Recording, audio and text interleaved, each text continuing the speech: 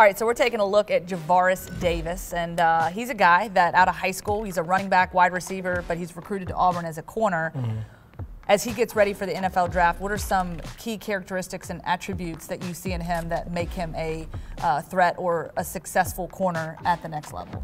Um, JD, man, he, he kind of has what I what I would say I, uh, how I, I, describe Marlon as that it factor, and um, he he kind of you know he's an undersized corner probably about five eight, but when he lines up on the field, you think he's 6'2", 215 pounds because he's going to come up, he's going to tackle anyone, he feel like he can guard anyone, and he's a guy who knows he. Some cornerbacks know they're fast, so they do a lot of things that they're not supposed to do because they can get away with it with their speed, and he knows that also, but um, what, what, was exciting for me about him throughout this whole process was we, have been kind of communicating also, and for him to get that Senior Bowl invite, that late Senior Bowl invite, and the way he went down there and performed, you know, against some top talent um, his first few days, it kind of it gave him that confidence boost that he needed to say, hey, I, I really belong here.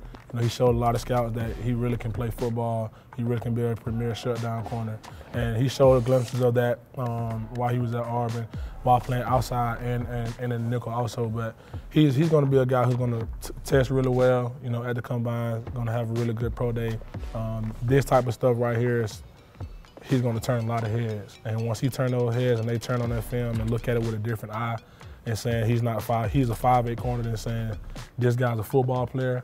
I'm pretty sure his stock is going to immediately rise. Yeah, I'm really looking forward to seeing his performances mm-hmm. uh, for sure and his numbers. Any chance that we're going to see him play at the wide receiver position in, uh, I, in the NFL? I hope not, because he sucks at receiver. He's a pretty good corner now. He's a really good corner, but I've seen him run some routes and it's, he don't have it anymore. No dice. Oh no, nah, not anymore. That's all right. So so we'll stick to the corner position.